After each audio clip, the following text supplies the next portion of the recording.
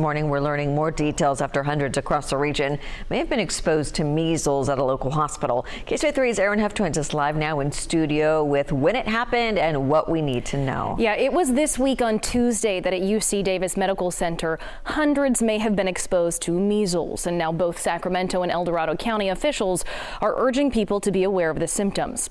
Now, according to UC Davis Medical Center, this stemmed from an emergency room visit when a child who had been visiting outside of the United States visited their facility for a suspected case of the measles. That child was confirmed to have the illness, and now approximately 300 plus people are being contacted about potentially being exposed.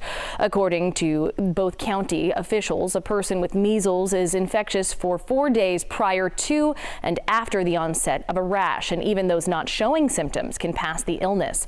At this time, both counties are working to contact those who've been exposed, and they advise if you need medical attention to appear in emergency rooms to ensure further mass exposure does not happen. Measles can be especially serious for the very young children in our community, pregnant people, and those who are immunocompromised. Leticia? Erin, thank you so much. And according to the CDC, measles can be prevented with a simple preventable disease vaccine.